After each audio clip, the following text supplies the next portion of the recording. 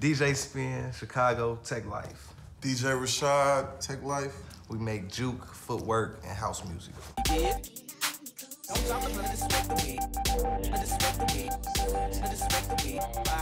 I started making music, um, I want to say 95, 96, around that time. I started with Rashad. bling, bling. I come from a dancing background, uh, just dancing since I was little, so um, it was a natural progression. What's going on, Barcelona?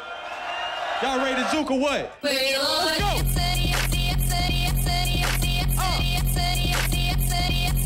Let's go, y'all!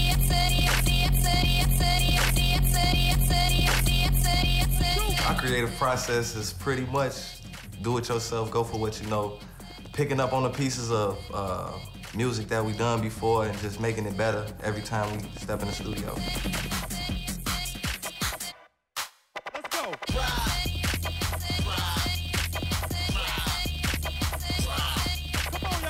Pretty much, uh, we don't have a, a setup set. Uh, we got Litebulb here to dance and entertain, so we get to play a little bit more stuff that he can go off to tonight. So looking forward to doing that.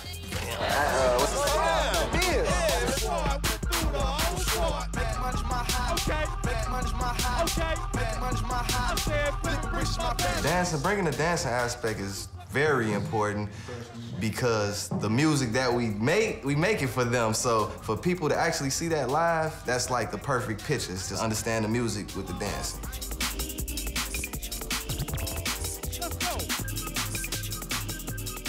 People that um, get influenced by our music or use our influence, um, pretty much, uh, it's cool with us. It's great. It's a good thing because it's getting spread around the world to more broader audiences. So, I mean, shouts out to Addison Groove, of course, uh, Machinedrum, African High Tech. Um, there's a few, uh, Pearson Sound. uh, Patrice and Friends. It's, yeah, it's a lot. We forgot y'all. Sorry. Oh man, to, to be uh, titled as ambassadors of our music is great. Being where we are today, I couldn't even imagine this 15 years ago.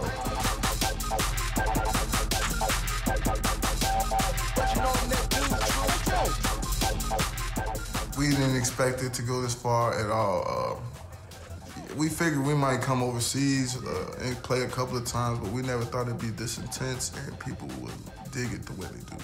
You miss Han? Barcelona!